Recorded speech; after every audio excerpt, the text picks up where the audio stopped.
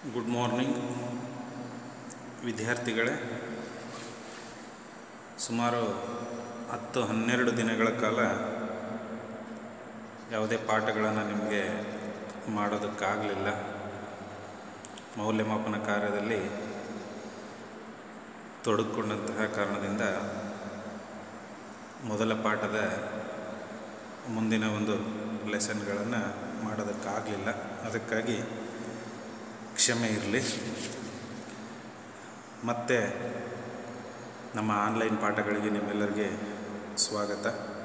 ಹಿಂದಿನ ಒಂದು ಎರಡು ತರಗತಿಗಳಲ್ಲಿ ಶಿಕ್ಷಣದ ಪರಿಕಲ್ಪನೆ, ಶಿಕ್ಷಣದ ಸಂಕುಚಿತ ಹಾಗೂ ವಿಶಾಲಾರ್ಥಗಳು ಮತ್ತು ಶಿಕ್ಷಣದ ದ್ವಿಮುಖ ಪ್ರಕ್ರಿಯೆ, ತ್ರಿಮುಖ ಪ್ರಕ್ರಿಯೆಗಳ ವಿವರಣೆಯನ್ನು ನಾನು ನಿಮಗೆ ನೀಡಿದ್ದೆ.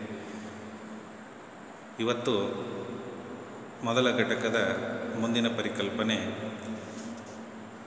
ಭಾರತೀಯ ಚಿಂತಕರ ದೃಷ್ಟಿಕೆಯಲ್ಲಿ ಶಿಕ್ಷಣದ ಅರ್ಥ. ಅಂದರೆ ಈ ಒಂದು ಅಂಶದಲ್ಲಿ ಮುಖ್ಯವಾಗಿ ಎರಡು ವಿಭಿನ್ನ ದೃಷ್ಟಿಕೋನಗಳನ್ನು ನಾವು ನೋಡ್ತೇವೆ. ಪಾಶ್ಚಾತ್ಯರ ದೃಷ್ಟಿಯಲ್ಲಿ ಶಿಕ್ಷಣದ ಅರ್ಥ ಏನು? ಹಾಗೂ ನಮ್ಮ ದೇಶದ ಭಾರತೀಯ ತಜ್ಞರು ನೀಡಿದಂತಹ ಶಿಕ್ಷಣದ ಅರ್ಥ ಏನು ಅನ್ನೋದನ್ನು ನೋಡ್ತಾ ಹೋಗ್ತೀವಿ. ಪರೀಕ್ಷಾ ದೃಷ್ಟಿಯಿಂದ ನಿಮಗೆ ಈ ವ್ಯಾಖ್ಯೆಗಳು, ವಿಭಿನ್ನ ವ್ಯಕ್ತಿಗಳು ಕೊಟ್ಟಂತಹ ವ್ಯಾಖ್ಯೆಗಳನ್ನು ನೀವು ಸರಿಯಾಗಿ ಅರ್ಥ ಮಾಡಿಕೊಂಡು ನೆನಪಿಟ್ಕೊಂಡ್ರೆ ಸಾಕು. ಅದನ್ನೇ ಪರೀಕ್ಷೆಯಲ್ಲಿ ಕೇಳ್ತಾ ಇರ್ತಾರೆ. ಇವತ್ತಿನ ಒಂದು ಅವಧಿಯೊಳಗಡೆ ನಮ್ಮ ಭಾರತೀಯ ಚಿಂತಕರ ಒಂದು ದೃಷ್ಟಿಕೋನದಲ್ಲಿ ಶಿಕ್ಷಣದ ಅರ್ಥ ಏನು? ಅವರ ದೃಷ್ಟಿಯಲ್ಲಿ ಶಿಕ್ಷಣ ಹೇಗಿರಬೇಕು ಅನ್ನೋದರ ಒಂದು ವಿವರಣೆಗಳನ್ನು ಇವತ್ತು ನೋಡೋಣ. ಮೊದಲನೇದಾಗಿ ರವೀಂದ್ರನಾಥ್ ಟ್ಯಾಗೋರ್ ಇವರ ಒಂದು ಜೀವಿತಾವಧಿ ಹದಿನೆಂಟುನೂರ ಅರವತ್ತೊಂದರಿಂದ ಹತ್ತೊಂಬತ್ತು ನೂರ ನಲವತ್ತೊಂದು ಇವರು ಯಾರು, ಏನು ಅಂತ ನಿಮ್ಮೆಲ್ಲರಿಗೂ ಚಿರಪರಿಚಿತ ವ್ಯಕ್ತಿ. ನಾವೆಲ್ಲರೂ ನಮ್ಮ ರಾಷ್ಟ್ರಕ್ಕಾಗಿ ಹಾಡ್ತಕ್ಕಂತಹ ರಾಷ್ಟ್ರಗೀತೆ ಜನಗಣಮನವನ್ನು ರಚಿಸಿದಂತಹ ವ್ಯಕ್ತಿ. ಗೀತಾಂಜಲಿ ಒಂದು ಕವನ ಸಂಕಲನಕ್ಕಾಗಿ ನೋಬೆಲ್ ಒಂದು ಬಹುಮಾನವನ್ನು ಪಡೆದರು. ಇವರೊಬ್ಬ ಕವಿ ಹೌದು, ಪ್ರಕೃತಿವಾದಿ ಮತ್ತು ಚಿಂತಕ. ಇವರ ಒಂದು ದೃಷ್ಟಿಕೋನದಲ್ಲಿ ಶಿಕ್ಷಣದ ಅರ್ಥ ಏನು? ವ್ಯಾಖ್ಯೆ ನಿಮ್ಮ ಸ್ಕ್ರೀನ್ ಮೇಲೆ ಇದೆ.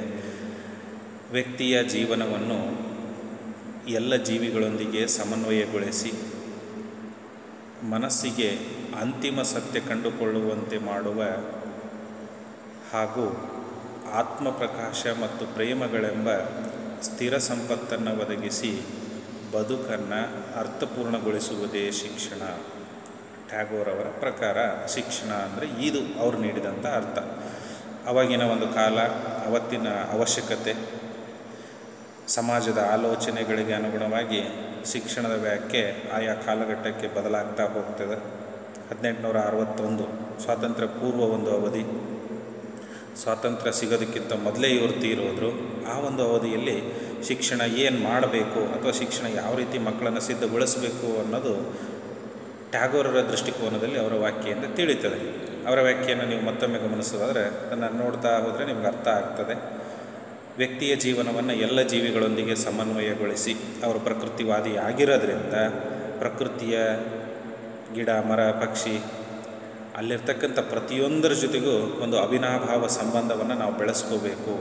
ಪ್ರಕೃತಿಯ ಮಡಿಲಲ್ಲೇ ನಾವು ಬಾಳಿ, ಬೆಳೆದು ಕೊನೆಗೆ ಅಂತ್ಯ ಆಗೋದ್ರಿಂದ ಪ್ರಕೃತಿಯಿಂದನೇ ನಾವು ಸಾಕಷ್ಟು ಕಲಿಬೇಕಾಗಿದೆ. ಅದರ ಜೊತೆಗೆ ಉತ್ತಮವಾದಂತಹ ಒಂದು ಸಾಮರಸ್ಯ, ಸಮನ್ವಯವನ್ನು ಸಾಧಿಸಬೇಕು. ಪ್ರತಿಯೊಂದು ಜೀವಿ, ಪ್ರಾಣಿ, ಪಕ್ಷಿಗೂ ಪ್ರಕೃತಿಯಲ್ಲಿ ಅದರದೇ ಆದಂತಹ ಒಂದು ಕಾರ್ಯ, ಜವಾಬ್ದಾರಿ ಅದರದೇ ಆದಂತಹ ಒಂದು ಜೀವನದ ರೀತಿ ಇರೋದ್ರಿಂದ ಆ ಪ್ರಕೃತಿಯನ್ನು ಪ್ರಕೃತಿದತ್ತವಾಗಿ ನಾವು ಸ್ವೀಕರಿಸಬೇಕು, ಅದನ್ನು ಅರ್ಥ ಮಾಡ್ಕೋಬೇಕು, ಬಳಸ್ಕೋಬೇಕು, ಬೆಳೆಸಬೇಕು ಅನ್ನೋ ದೃಷ್ಟಿಕೋನದಿಂದ ವ್ಯಕ್ತಿಯ ಜೀವನ ಎಲ್ಲ ಜೀವಿಗಳೊಂದಿಗೆ ಸಮನ್ವಯ ಹೊಂದಬೇಕು. ಅಂದರೆ ಎಲ್ಲವನ್ನು ನಾವು ಅರ್ಥ ಮಾಡಿಕೊಂಡು ಅವುಗಳ ಜೊತೆಗೆ ಹೊಂದಾಣಿಕೆಯಿಂದ ಬದುಕೋದನ್ನು ಶಿಕ್ಷಣ ಕಲಿಸಬೇಕು.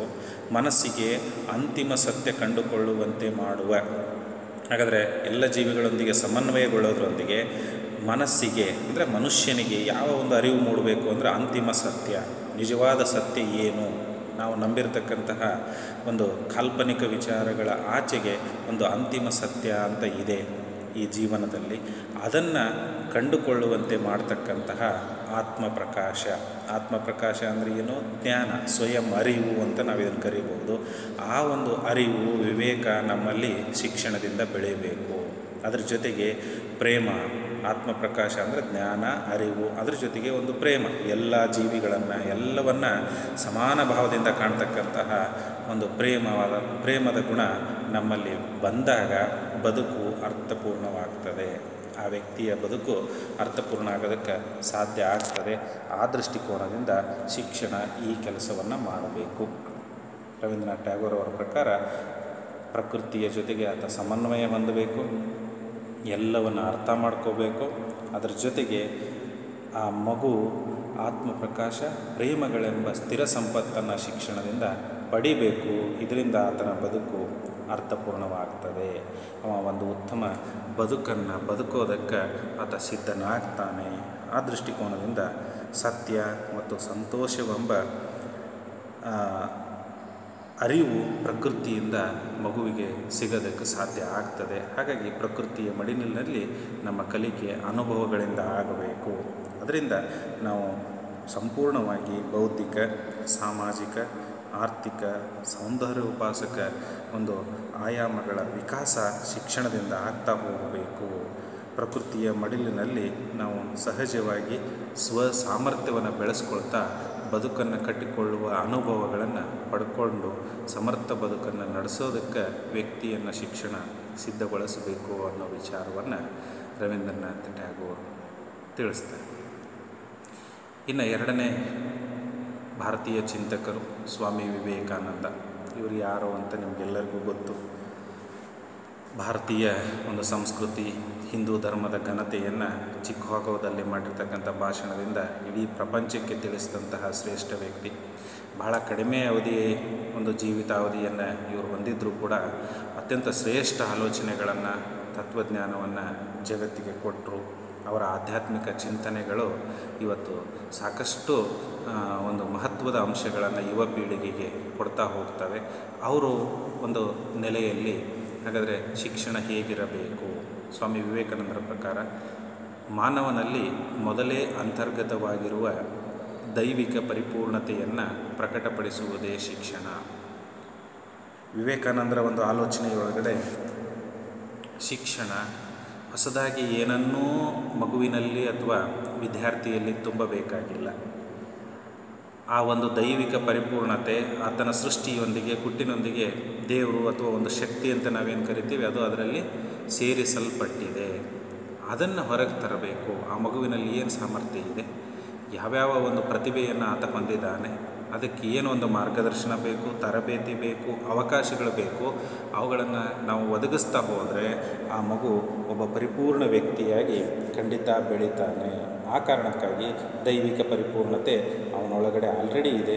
ಶಿಕ್ಷಣ ಏನು ಮಾಡಬೇಕು ಅಂದರೆ ಅದನ್ನು ಹೊರಗೆ ತರ್ತಕ್ಕಂತಹ ಕೆಲಸವನ್ನು ಮಾಡಬೇಕು. ಅಂದರೆ ಅವನಿಗೆ ಅದಕ್ಕೆ ಅವಕಾಶಗಳನ್ನು ಒದಗಿಸಿ, ಆತನ ಸಾಮರ್ಥ್ಯಗಳನ್ನು ಗುರುತಿಸಿ ಅದನ್ನು ಆತ ಅಭಿವ್ಯಕ್ತಿಗೊಳಿಸೋದಕ್ಕೆ ಯೋಗ್ಯ ವೇದಿಕೆಗಳನ್ನು ಸೃಷ್ಟಿಸಬೇಕು. ಅದಕ್ಕೆ ಅಗತ್ಯ ಇರತಕ್ಕಂಥ ಅಲ್ಪ ಸ್ವಲ್ಪ ಮಾರ್ಪಾಡುಗಳನ್ನು, ಮಾರ್ಗದರ್ಶನಗಳನ್ನು ಶಿಕ್ಷಣ ನೀಡ್ತಾ ಹೋದರೆ ಮನುಷ್ಯ ಪರಿಪೂರ್ಣನಾಗ್ತಾನೆ. ವ್ಯಕ್ತಿಯ ಒಂದು ನಡತೆಯನ್ನು ರೂಪಿಸಿ, ಆತನ ಮಾನಸಿಕ ಶಕ್ತಿ, ಬೌದ್ಧಿಕ ಮಟ್ಟವನ್ನು ಹೆಚ್ಚಿಸೋದರೊಂದಿಗೆ ಆ ವ್ಯಕ್ತಿಯನ್ನು ಸ್ವಾವಲಂಬಿಯನ್ನಾಗಿ ಮಾಡೋದು ಶಿಕ್ಷಣದ ಮುಖ್ಯ ಕೆಲಸ ಅನ್ನೋದನ್ನು ಸ್ವಾಮಿ ವಿವೇಕಾನಂದರು ಪ್ರತಿಪಾದಿಸ್ತಾರೆ. ಈಗ ನಿಮ್ಮೆಲ್ಲರಿಗೂ ಗೊತ್ತಿರುವಂತೆ ಒಂದು ಬೀಜವನ್ನು ನಾವು ಯಾವುದೇ ಸಸಿಗೆ ಬೀಜವನ್ನು ತಗೊಳ್ವಿ ಅಂತ ಹೇಳಿದ್ರೆ ಬೀಜ ನೋಡೋದಕ್ಕೆ ಚಿಕ್ಕದೇ ಇರುತ್ತೆ. ಆ ಬೀಜದೊಳಗಡೆ ಯಾವುದೇ ಮರ ಏನಿದೆ ಅಂತ ನಮಗೆ ಕಾಣೋದಿಲ್ಲ. ಆದರೆ ಆ ಬೀಜವನ್ನು ನಾವು ನೆಟ್ಟು ಮಣ್ಣಲ್ಲಿ ಅದನ್ನು ಹದವಾದಂತಹ ಮಣ್ಣಲ್ಲಿ ನೆಟ್ಟು ಅದಕ್ಕೆ ನೀರು ಹಾಕಿ ಪೋಷಣೆಯನ್ನು ಮತ್ತು ರಕ್ಷಣೆಯನ್ನು ನೀಡಿದಾಗ ಆ ಬೀಜದಿಂದ ಒಂದು ದೊಡ್ಡ ಹೆಮ್ಮರವೇ ಬೆಳೆದು ನಿಲ್ತದೆ. ಅಂದರೆ ಮೂಲತಃ ಆ ಬೀಜದಲ್ಲಿ ಏನಿತ್ತು ಅಂತ ನಮಗೆ ಕಾಣೋದಿಲ್ಲ. ಆದರೆ ಅದಕ್ಕೆ ಸರಿಯಾದಂತಹ ಒಂದು ಆರೈಕೆ, ಪೋಷಣೆ ಮತ್ತು ಅನುಕೂಲತೆಗಳನ್ನು ಒದಗಿಸಿಕೊಟ್ಟಾಗ ಆ ಬೀಜದಿಂದ ಒಂದು ಹೆಮ್ಮರ, ವೃಕ್ಷ ಬೆಳೆದು ನಿಲ್ಲೋದಕ್ಕೆ ಸಾಧ್ಯ. ಅದೇ ರೀತಿ ಮನುಷ್ಯನಲ್ಲೂ ಕೂಡ ಆತನ ಹುಟ್ಟಿನೊಂದಿಗೆ ಬೇಕಾದಂಥ ಶಕ್ತಿಗಳು ಆತನಲ್ಲಿ ಇವೆ. ಅವನ್ನೇ ದೈವಿಕ ಶಕ್ತಿ ಅಂತ ಸ್ವಾಮಿ ವಿವೇಕಾನಂದ ಕರೀತಾರೆ. ಅದನ್ನು ಹೊರಗೆ ಬೆಳೆಸೋದಕ್ಕೆ ಯೋಗ್ಯವಾದಂತಹ ಒಂದು ವಾತಾವರಣ, ಮಕ್ಕಳಿಗೆ ಸರಿಯಾದಂತಹ ಒಂದು ಶಿಕ್ಷಣ, ಶಿಸ್ತು, ಅವರ ಆರೋಗ್ಯ, ಅವ್ರಿಗೆ ಬೇಕಾದಂಥ ಒಂದು ರಕ್ಷಣೆಯನ್ನು, ಪೋಷಣೆಯನ್ನು ನಾವು ಮಾಡ್ತಾ ಬಂದ್ವಿ ಅಂತ ಹೇಳಿದರೆ ಆ ಮಗು ಮುಂದೆ ಒಬ್ಬ ಉತ್ತಮ ವ್ಯಕ್ತಿ, ನಾಗರಿಕನಾಗಿ ಬೆಳಿತಾನೆ. ದೇಶಕ್ಕೆ ಒಬ್ಬ ಯೋಧನಾಗಿ ಆತ ಸಿಗ್ತಾನೆ, ಸ್ವಾವಲಂಬಿಯಾಗಿ ತನ್ನ ಜೀವನವನ್ನು ಸುಂದರವಾಗಿ ಕಟ್ಕೊಳ್ತಾನೆ. ಹಾಗಾಗಿ ಶಿಕ್ಷಣ ಏನು ಮಾಡಬೇಕು ಅಂತ ಹೇಳಿದ್ರೆ ಅವರಿಗೆ ಯೋಗ್ಯವಾದಂತಹ ಮಾರ್ಗದರ್ಶನ, ಪೋಷಣೆ ಅವರಲ್ಲಿರುವ ಪ್ರತಿಭೆಯನ್ನು ಬೆಳೆಸ್ತಕ್ಕಂತಹ ಕೆಲಸವನ್ನು ಶಿಕ್ಷಣ ಮಾಡಬೇಕು ಅಂತ ಸ್ವಾಮಿ ವಿವೇಕಾನಂದರ ಒಂದು ಆಲೋಚನೆ. ಇನ್ನು ಮಹಾತ್ಮ ಗಾಂಧಿಯವರು ಮೂರನೆಯ ಭಾರತೀಯ ಚಿಂತಕರಲ್ಲಿ ನಾವು ಮಹಾತ್ಮ ಗಾಂಧಿಯವರನ್ನು ಪರಿಗಣಿಸ್ತೇವೆ. ಇವರು ಯಾರು, ಏನು, ಯಾಕೆ ಮಹಾತ್ಮ ಅನ್ನೋದನ್ನು ಸಾಕಷ್ಟು ವಿಚಾರಗಳನ್ನು ನೀವು ಆಲ್ರೆಡಿ ತಿಳ್ಕೊಂಡಿರ್ತೀರಿ. ಹಾಗಾಗಿ ಅವ್ರ ಬಗ್ಗೆ ಹೆಚ್ಚಿನ ಒಂದು ವೈಯಕ್ತಿಕ ವಿಚಾರಗಳನ್ನು ಚರ್ಚೆ ಮಾಡದೆ ನೇರವಾಗಿ ಮಹಾತ್ಮ ಗಾಂಧೀಜಿಯವರ ಒಂದು ದೃಷ್ಟಿಕೋನದಲ್ಲಿ ಶಿಕ್ಷಣ ಹೇಗಿರಬೇಕು? ಮಗು ಮತ್ತು ವ್ಯಕ್ತಿಯ ಶಾರೀರಿಕ, ಮಾನಸಿಕ ಆಧ್ಯಾತ್ಮಿಕ ಅಂಶಗಳಲ್ಲಿರುವ ಅತ್ಯುತ್ತಮವಾದದ್ದನ್ನು ಸರ್ವತೋಮುಖವಾಗಿ ಹೊರತರುವಂತೆ ಮಾಡುವುದೇ ಶಿಕ್ಷಣ. ಗಾಂಧೀಜಿಯವರ ಒಂದು ವ್ಯಾಖ್ಯೆ. ಮಗು ಮತ್ತು ವ್ಯಕ್ತಿಯ ಮೂರು ಅಂಶಗಳಿಗೆ ಅವರ ಆದ್ಯತೆಯನ್ನು ಕೊಡ್ತಾರೆ. ಶಾರೀರಿಕ, ಮಾನಸಿಕ ಹಾಗೂ ಆಧ್ಯಾತ್ಮಿಕ ಅಂಶಗಳಲ್ಲಿರುವ ಅತ್ಯುತ್ತಮವಾದದ್ದನ್ನು. ಹಾಗಾದರೆ ಒಬ್ಬ ವ್ಯಕ್ತಿಗೆ ಶರೀರ ಇದೆ, ದೇಹ ಇದೆ ಅಂಗಾಂಗಗಳಿದ್ದಾವೆ ಅದರ ಜೊತೆಗೆ ನಮಗೆ ಮನಸ್ಸಿದೆ. ಅದನ್ನೇ ನಾವು ಬುದ್ಧಿ ಅಂತಲೂ ಕರಿತೇವೆ. ಇದರ ಜೊತೆಗೆ ಆಧ್ಯಾತ್ಮಿಕ ಒಂದು ಅಂಶವೂ ಇದೆ. ಧರ್ಮ, ನ್ಯಾಯ, ನೀತಿ, ಪ್ರೀತಿ, ಅಹಿಂಸೆ, ಸತ್ಯ ಅಂತ ಏನು ಕರಿತಿದ್ರಲ್ಲ, ಆ ಎಲ್ಲ ವಿಚಾರಗಳನ್ನು ನಾವು ಆಧ್ಯಾತ್ಮಿಕ ಅಂಶಗಳು ಅಂತ ಕರಿತೀವಿ. ಶಾರೀರಿಕ ಅಂಶಗಳು ಅಂತ ಹೇಳಿದ್ರೆ ಸದೃಢವಾದಂತಹ ದೇಹವನ್ನು ಹೊಂದೋದು, ಆರೋಗ್ಯವಂತರಾಗಿ ನಾವು ಇರೋದು ಅದರ ಜೊತೆಗೆ ಒಳ್ಳೆಯ ಬುದ್ಧಿಶಕ್ತಿಯನ್ನು ಹೊಂದೋದು ಮಾನಸಿಕ ಸಾಮರ್ಥ್ಯಗಳನ್ನು ಬೆಳೆಸ್ಕೊಳ್ಳೋದು, ಒಳ್ಳೆಯ ಆಲೋಚನೆ ಮಾಡ್ತಕ್ಕಂತಹ, ಚರ್ಚೆ ಮಾಡ್ತಕ್ಕಂಥ ತೀರ್ಮಾನ ಮಾಡ್ತಕ್ಕಂತಹ ವಿವೇಚನೆಯನ್ನು ನಾವು ಬೆಳೆಸ್ಕೊಳ್ಳೋದು ಯಾವಾಗ ಅಂತ ಹೇಳಿದರೆ, ಆ ಒಂದು ಮನಸ್ಸಿಗೆ ಸರಿಯಾದಂತಹ ತರಬೇತಿ ಸಿಕ್ಕಾಗ ಈ ಕೆಲಸವನ್ನು ಶಿಕ್ಷಣ ಮಾಡಬೇಕು ಅನ್ನೋದು ಗಾಂಧೀಜಿಯವರ ಒಂದು ಅನಿಸಿಕೆ. ಆತನ ಶರೀರಕ್ಕೆ ಒಳ್ಳೆಯ ತರಬೇತಿಯನ್ನು ಕೊಡಬೇಕು. ಶಾರೀರಿಕವಾಗಿ ಸದೃಢ, ಆರೋಗ್ಯವಂತ ಮತ್ತು ಕುಶಲ ವ್ಯಕ್ತಿಯಾಗುವಂತೆ ಆತನನ್ನು ಸಿದ್ಧಗೊಳಿಸಬೇಕು. ಆತನ ಬುದ್ಧಿಯನ್ನು ಸಮೃದ್ಧಗೊಳಿಸಬೇಕು. ಒಳ್ಳೆಯ ಆಲೋಚನೆಗಳು ಅವನಲ್ಲಿ ಬೆಳೆಯುವಂತೆ, ವಿವೇಚನೆ ಬೆಳೆಯುವಂತೆ, ಪ್ರಪಂಚದ ಜ್ಞಾನ, ಅರಿವು ಆತನಲ್ಲಿ ಮೂಡುವಂತೆ ಮಾಡಬೇಕು. ಅದರ ಜೊತೆಗೆ ಆಧ್ಯಾತ್ಮಿಕ ಅಂಶಗಳಾದಂಥ ಸತ್ಯ, ಪ್ರೇಮ, ಅಹಿಂಸೆ, ನ್ಯಾಯ, ತ್ಯಾಗ ಇಂತಹ ಒಂದು ಉದಾತ್ತ ಗುಣಗಳನ್ನು ಆತನಲ್ಲಿ ಬೆಳೆಸಿ ಆತನನ್ನು ಆಧ್ಯಾತ್ಮಿಕ ಶ್ರೇಷ್ಠ ವ್ಯಕ್ತಿಯನ್ನಾಗಿ ಮಾಡಬೇಕು. ಈ ಕೆಲಸವನ್ನು ಶಿಕ್ಷಣ ಮಾಡಬೇಕು. ಅಲ್ಲಿರ್ತಕ್ಕಂಥ ಅತ್ಯುತ್ತಮವಾದದ್ದನ್ನು ಸರ್ವತೋಮುಖವಾಗಿ ಹೊರತರುವಂತೆ ಶಿಕ್ಷಣ ಸರ ನಿರಂತರವಾಗಿ ಪ್ರಯತ್ನವನ್ನು ಮಾಡಬೇಕು ಅನ್ನುವಂತಹ ಒಂದು ವಿಚಾರವನ್ನು ಅವ್ರು ಹೇಳ್ತಾರೆ. ಮತ್ತು ಮಗು ಸ್ವಾವಲಂಬಿ ಆಗಬೇಕು, ಶಿಕ್ಷಣ ಆತನಿಗೆ ಜೀವನವನ್ನು ಕಲಿಸಬೇಕು. ಅದಕ್ಕಾಗಿ ಅವರ ಒಂದು ಬೇಸಿಕ್ ಎಜುಕೇಷನ್ ಕಾನ್ಸೆಪ್ಟು ಅದಕ್ಕೆ ಒತ್ತು ಕೊಡೋದೇ ಗಾಂಧೀಜಿ ಅದಕ್ಕಾಗಿ. ಏನಂದರೆ ಮಕ್ಕಳಿಗೆ ಕೈ ಕೆಲಸವನ್ನು ಮಾಡೋದನ್ನು ಕಲಿಸ್ರಿ. ವಿವಿಧ ವೃತ್ತಿಗಳನ್ನು ಅವ್ರು ಕಲ್ತ್ಕೊಳ್ಳಿ. ಅದು ಕೃಷಿ ಇರ್ಬೋದು, ಅಥವಾ ಕುಂಬಾರಿಕೆ ಇರ್ಬೋದು, ಕಮ್ಮಾರಿಕೆ ಇರ್ಬೋದು, ಯಾವುದೇ ಇರಲಿ. ಜೀವನೋಪಾಯಕ್ಕಾಗಿ ಆ ಗುಡಿ ಕೈಗಾರಿಕೆಗಳಿಗೆ ಪೂರಕವಾದಂಥ ತನ್ನ ಜೀವನವನ್ನು ತಾನು ರೂಪಿಸ್ಕೊಳ್ಳುವಂಥ, ತನ್ನ ಕೆಲ ಕಾಲ ಮೇಲೆ ತಾನು ನಿಲ್ಲುವಂಥ ಸಾಮರ್ಥ್ಯ ಆ ಮಗುವಿಗೆ ಹಂತ ಹಂತವಾಗಿ ಬೆಳೆಯಬೇಕು ಯಾವುದೇ ಒಂದು ವೃತ್ತಿ ಅಪಮಾನಕರ ಅಲ್ಲ. ತನ್ನ ಬದುಕಿಗಾಗಿ ಆತ ಯಾವುದೇ ವೃತ್ತಿಯನ್ನು ಮಾಡಿದರೂ ಅದಕ್ಕೆ ಭಾಳ ಶ್ರೇಷ್ಠ ಗೌರವ ಕೊಡಬೇಕು ಅನ್ನೋಂತಹ ಒಂದು ಆಲೋಚನೆಯನ್ನು ಹೇಳಿದರು. ಶಿಕ್ಷಣ ಕೇವಲ ಪದವಿ ಅಥವಾ ಪಾರಿತೋಷಿಕಗಳಿಗೆ ಸೀಮಿತ ಆಗಬಾರ್ದು. ಆ ವ್ಯಕ್ತಿ ತನ್ನ ಬದುಕನ್ನು ಕಟ್ಟಿಕೊಳ್ಳೋದಕ್ಕೆ ಸಹಾಯ ಆಗ್ತಕ್ಕಂಥ, ಪರೋಕ್ಷವಾಗಿ ರಾಷ್ಟ್ರಕ್ಕೆ ಸಹಾಯ ಮಾಡತಕ್ಕಂಥ ಸಾಮರ್ಥ್ಯವನ್ನು ಶಿಕ್ಷಣ ಮಕ್ಕಳಲ್ಲಿ ತುಂಬಬೇಕು ಅನ್ನೋದನ್ನು ಮಹಾತ್ಮ ಗಾಂಧೀಜಿ ತಿಳಿಸ್ತಾರೆ. ಇನ್ನು ಮುಂದಿನ ಮತ್ತೊಬ್ಬ ತಜ್ಞರು ಡಾಕ್ಟರ್ ರಾಧಾಕೃಷ್ಣನ್. ಇವರನ್ನು ಶಿಕ್ಷಕರ ದಿನಾಚರಣೆಯ ಒಂದು ಸಂದರ್ಭದಲ್ಲಿ ಎಲ್ಲರೂ ನಾವು ನೆನೆತೇವೆ. ಭಾರತ ಕಂಡಂತಹ ಶ್ರೇಷ್ಠ ಶಿಕ್ಷಕ ಹೌದು. ಭಾರತದ ರಾಷ್ಟ್ರಪತಿಯಾಗಿಯೂ ಕೂಡ ಇವರು ಕಾರ್ಯವನ್ನು ನಿಭಾಯಿಸಿದರು.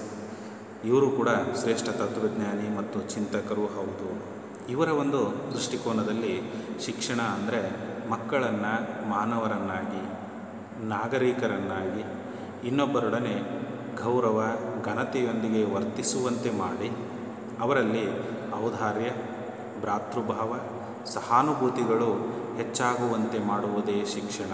ವ್ಯಾಖ್ಯೆ ಸ್ವಲ್ಪ ದೀರ್ಘ ಇದ್ರೂ ಅರ್ಥಪೂರ್ಣವಾಗಿದೆ. ಅದನ್ನು ಮತ್ತೊಮ್ಮೆ ನೀವು ನೋಡ್ತಾ ಹೋದರೆ ಅದರ ಅರ್ಥ ಆಗ್ತಾ ಹೋಗ್ತದೆ. ಮಕ್ಕಳನ್ನು ಮಾನವರನ್ನಾಗಿ, ಅಂದರೆ ಮಗು ಆರಂಭದಲ್ಲಿ ಆತನಿಗೆ ಯಾವುದೇ ಜ್ಞಾನ ಇಲ್ಲ, ತಿಳುವಳಿಕೆ ಇಲ್ಲ, ಆತನ ಆಲೋಚನಾ ಸಾಮರ್ಥ್ಯ ಇಲ್ಲ. ಹಾಗಾಗಿ ಆ ಮಗು ಸಂಪೂರ್ಣವಾಗಿ ಮುಗ್ಧ. ಆತ ಮಾನವ ಆಗಬೇಕು. ಅಂದರೆ ಮಾನವ ಉಳಿದೆಲ್ಲ ಪ್ರಾಣಿಗಳಿಗಿಂತ ಭಿನ್ನವಾಗಿ ಬುದ್ಧಿಶಕ್ತಿ ಹೊಂದಿರತಕ್ಕಂಥ ಜೀವಿಯಾಗಿರೋದ್ರಿಂದ ಆ ಮಗುವನ್ನು ನಾವೇನು ಮಾಡಬೇಕು? ಮನುಷ್ಯನನ್ನಾಗಿ ತಿದ್ದಬೇಕು. ಆ ಮಾನವನನ್ನು ನಾಗರಿಕನನ್ನಾಗಿಸಬೇಕು. ಉಳಿದೆಲ್ಲ ಪ್ರಾಣಿಗಳಿಗಿಂತ ಆಲೋಚನಾ ಶಕ್ತಿ ಹೊಂದಿರೋ ಮಾನವ, ಬರೀ ಮಾ, ಮಕ್, ಮಗು ಇದ್ದ ಮಾನವ ಆದರಷ್ಟೇ ಪರಿಪೂರ್ಣ ಆಗೋದಿಲ್ಲ. ಆತ ನಾಗರಿಕ ಗುಣಗಳನ್ನು ಹೊಂದಬೇಕು. ಅಂದರೆ ಒಂದು ಸಮುದಾಯದ ಸದಸ್ಯನಾಗಿ ಅಲ್ಲಿರ್ತಕ್ಕಂಥ ಕರ್ತವ್ಯ, ಜವಾಬ್ದಾರಿಗಳನ್ನು ನಿಭಾಯಿಸಿಕೊಂಡು ಸಹಕಾರ ಮತ್ತು ಸಹಬಾಳ್ವೆಯನ್ನು ರೂಢಿಸಿಕೊಂಡು ಆ ನಾಗರಿಕ ಸಮಾಜದ ಗುಣಗಳನ್ನು ಆತ ತನ್ನಲ್ಲಿ ಅಳವಡಿಸ್ಕೊಳ್ತಾ ಸಾಗಬೇಕು. ಆವಾಗ ಮನುಷ್ಯ ಇದ್ದವ ನಾಗರಿಕನಾಗ್ತಾನೆ. ಈ ನಾಗರಿಕನಾಗಿ ಬದುಕತಕ್ಕಂತಹ ವ್ಯಕ್ತಿ ಮತ್ತೊಬ್ಬರೊಡನೆ ಗೌರವ, ಘನತೆಯೊಂದಿಗೆ ವರ್ತಿಸಬೇಕು. ಪ್ರತಿಯೊಬ್ಬ ಮನುಷ್ಯನಿಗೂ ಅವರು ದೊಡ್ಡವರಿರಲಿ ಚಿಕ್ಕವರಿರಲಿ ಈಗ ನೀವು ಸ್ಟೂಡೆಂಟ್ಸು ನಾವು ಟೀಚರು ಅಂದರೆ ನೀವು ಸ್ಟೂಡೆಂಟ್ಸ್ ಆಗಿ ನಿಮಗೂ ಕೂಡ ನಿಮಗೊಂದು ವ್ಯಕ್ತಿತ್ವ ಇದೆ, ಗೌರವ, ಘನತೆ ಇದೆ. ಹಾಗಾಗಿ ನಿಮ್ಮ ಜೊತೆಗೆ ನಾವು ಹೇಗೆ ಬೇಕೋ ಹಾಗೆ ವರ್ತಿಸೋದಕ್ಕೆ ಬರೋದಿಲ್ಲ. ಪ್ರತಿಯೊಬ್ಬ ವ್ಯಕ್ತಿಗೂ ಅವ ಯಾವುದೇ ಹಂತದಲ್ಲಿರಲಿ ಶ್ರೀಮಂತ ಇರಲಿ, ಬಡವ ಇರಲಿ, ಪ್ರತಿಯೊಬ್ಬ ಮನುಷ್ಯನಿಗೂ ಅವನದೇ ಆದಂತಹ ವ್ಯಕ್ತಿತ್ವ ಇದೆ. ಆತನಿಗೆ ಆದಂಥ ಒಂದು ಸ್ವಾಭಿಮಾನ ಇದ್ದೇ ಇರ್ತದೆ. ಅದಕ್ಕಾಗಿ ಪ್ರತಿಯೊಬ್ಬರ ಜೊತೆಗೂ ನಾವು ಗೌರವ, ಘನತೆಯೊಂದಿಗೆ ವರ್ತಿಸೋದನ್ನು ಶಿಕ್ಷಣ ಕಲಿಸಬೇಕು. ಅದರ ಜೊತೆಗೆ ಪ್ರತಿಯೊಬ್ಬ ವಿದ್ಯಾರ್ಥಿಯಲ್ಲೂ ಔದಾರ್ಯ, ಭ್ರಾತೃಭಾವ ಮತ್ತು ಸಹಾನುಭೂತಿಗಳು. ಔದಾರ್ಯ ಅಂದರೆ ಒಂದು ವಿಶಾಲ ಮನೋಭಾವ. ಎಲ್ಲವನ್ನು ಸಮಾನ ದೃಷ್ಟಿಯಿಂದ ನೋಡೋದು, ಸತ್ಯದ ಒಂದು ದೃಷ್ಟಿಕೋನದಿಂದ ನೋಡೋದು ಅಲ್ಲಿ ಏನು ಉತ್ತಮನೋ, ಎಲ್ಲರಿಗೂ ಉಪಯುಕ್ತನೋ ಆ ಒಂದು ದೃಷ್ಟಿಕೋನದ ಒಂದು ಉದಾತ್ತ ಮನಸ್ಸನ್ನು ನಾವು ಬೆಳೆಸ್ಕೋಬೇಕು ಮತ್ತು ಭ್ರಾತೃಭಾವ, ಎಲ್ಲರನ್ನ ಸಹೋದರ ಸಹೋದರಿಯರು ಅನ್ನೋಂಥ ಭಾವನೆ, ನಮ್ಮವರು ಅನ್ನಂತಹ ಭಾವನೆಯಿಂದ ನಾವು ಪರಸ್ಪರರು ನೋಡಿಕೊಳ್ಳೋದು ಮತ್ತು ಸಹಾನುಭೂತಿ ಯಾರೇ ತೊಂದರೆಯಲ್ಲಿದ್ದರೆ, ಸಮಸ್ಯೆಯಲ್ಲಿದ್ದರೆ ಅವರ ಸ್ಥಾನದಲ್ಲಿ ನಾವಿದ್ದರೆ ಅನ್ನೋ ದೃಷ್ಟಿಕೋನದಿಂದ ನಾವು ನೋಡಿದಾಗ ಖಂಡಿತ ಅವರ ಒಂದು ನೋವು ಅಥವಾ ಅವರ ಒಂದು ಸಂಕಟ, ದುಃಖ ನಮಗೆ ಅರಿವಾಗ್ತದೆ. ಅವರಿಗೆ ಸಹಾಯ ಮಾಡತಕ್ಕಂತಹ ಒಂದು ಗುಣ ನಮಗೆ ಬರ್ತದೆ. ಈ ಭಾವನೆಗಳನ್ನು ಮಕ್ಕಳಲ್ಲಿ ಬೆಳೆಸುವುದೇ ಶಿಕ್ಷಣದ ಕೆಲಸ ಆಗಬೇಕು. ಈ ಭಾವನೆಗಳು ಬೆಳೆದು ಬಂದಾಗ ಆ ಮನುಷ್ಯ ಶ್ರೇಷ್ಠ ಆಗ್ತಾನೆ, ಅತ್ಯುತ್ತಮ ವ್ಯಕ್ತಿ ಆಗ್ತಾನೆ. ಮುಂದೆ ಆತ ಒಳ್ಳೆಯ ಜೀವನವನ್ನು ಕಟ್ಕೊಳ್ಳೋದ್ರ ಜೊತೆಗೆ ಸಮಾಜ ನಿರ್ಮಾಣಕ್ಕೂ ಸಹಕಾರಿ ಆಗ್ತಾನೆ ಅನ್ನೋದು ಅವರ ಒಂದು ದೃಷ್ಟಿಕೋನ. ಆ ಕಾರಣಕ್ಕಾಗಿಯೇ ಅವರು ಶಿಕ್ಷಣ, ಮಗುವಿನ ಬುದ್ಧಿ, ಹೃದಯ ಮತ್ತು ಆಧ್ಯಾತ್ಮಿಕ ತರಬೇತಿಯನ್ನು ಕೊಡಬೇಕು. ಅಂದರೆ ಆತನ ಒಂದು ಬುದ್ಧಿಗೆ ಒಳ್ಳೆಯ ಆಲೋಚನೆಗಳನ್ನು, ಒಳ್ಳೆಯ ವಿಚಾರಗಳನ್ನು, ವಿಷಯಗಳನ್ನು ಶಿಕ್ಷಣ ಸೇರಿಸಬೇಕು. ಆತನಲ್ಲಿ ಹೃದಯ ವೈಶಾಲ್ಯತೆ, ಔದಾರ್ಯದಂತಹ ಒಳ್ಳೆಯ ಭಾವನೆಗಳನ್ನು ಬೆಳೆಸಬೇಕು. ಅನ್, ಅದರೊಂದಿಗೆ ಆತನಿಗೆ ಆಧ್ಯಾತ್ಮಿಕ ಒಂದು ಒಳ್ಳೆಯ ಅಂಶಗಳನ್ನು ಸೇರಿಸುವುದರ ಜೊತೆಗೆ ಆತನನ್ನು ಪರಿಪೂರ್ಣಗೊಳಿಸಬೇಕು. ಅದೇ ಶಿಕ್ಷಣ ಅಂತ ರಾಧಾಕೃಷ್ಣನ್ ಹೇಳಿದರು ಇನ್ನು ಕೊನೆಯದಾಗಿ ಜೆ ಕೃಷ್ಣಮೂರ್ತಿ ಜಿಡ್ಡು ಕೃಷ್ಣಮೂರ್ತಿ ಅಂತೇಳಿ. ಇವರೊಬ್ಬ ಆಧುನಿಕ ಶಿಕ್ಷಣ ಚಿಂತಕ, ಉತ್ತಮ ಬರಹಗಾರರೂ ಹೌದು. ಇವರ ಒಂದು ವಿಚಾರಧಾರೆಯಲ್ಲಿ ಶಿಕ್ಷಣ ಅಂದರೆ ಏನು? ಮಾನವನ ಪರಿಪೂರ್ಣ ವಿಕಾಸವೇ ನಿಜವಾದ ಅರ್ಥದಲ್ಲಿ ಶಿಕ್ಷಣ. ಇವರೊಬ್ಬ ಕ್ರಾಂತಿಕಾರಿ, ವೈಚಾರಿಕ ವ್ಯಕ್ತಿ. ತಮ್ಮ ಆಲೋಚನೆಯಿಂದ ಸಾಕಷ್ಟು ವಿಷಯಗಳನ್ನು ಅವರು ಎಲ್ಲರಿಗೂ ಅರ್ಥಪೂರ್ಣವಾಗಿ ತಿಳಿಸಿದಂಥವರು, ಅವ್ರ ಪ್ರಕಾರ ಮಾನವನ ಪರಿಪೂರ್ಣ ವಿಕಾಸವೇ ನಿಜವಾದ ಅರ್ಥದಲ್ಲಿ ಶಿಕ್ಷಣ. ಕೇವಲ ಅಕ್ಷರ ಜ್ಞಾನವನ್ನು ಪಡೆಯೋದು? ಅಥವಾ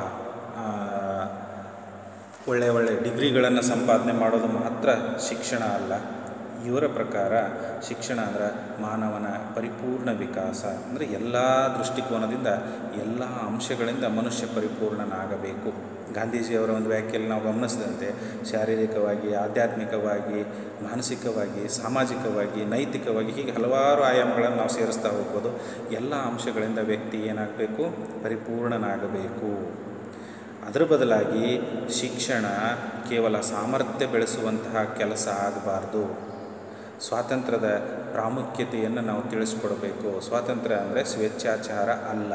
ಅವ್ರ ಪ್ರಕಾರ ಕೇವಲ ಸಾಮರ್ಥ್ಯವನ್ನು ಬೆಳೆಸಿದರೆ ಅದು ಮಹಾಯುದ್ಧಗಳಿಗೆ ವಿನಾಶಕ್ಕೆ ಕಾರಣವಾಗುತ್ತದೆ.